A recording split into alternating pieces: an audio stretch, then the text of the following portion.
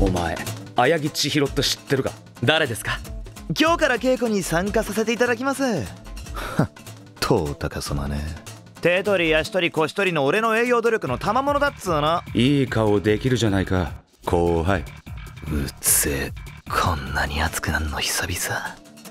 ハグ後俺の女にしてあげますよ。